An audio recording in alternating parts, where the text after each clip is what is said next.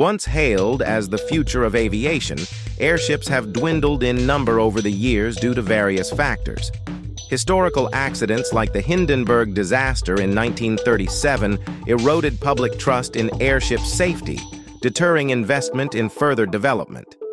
The emergence of faster transportation modes, such as airplanes and helicopters, made airships less competitive for long-distance travel despite their advantages in hovering and accessing remote areas.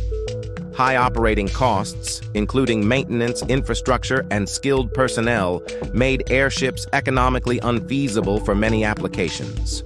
Regulatory hurdles and airspace restrictions hindered widespread airship adoption, but they still serve niche roles in photography, surveillance, and tourism.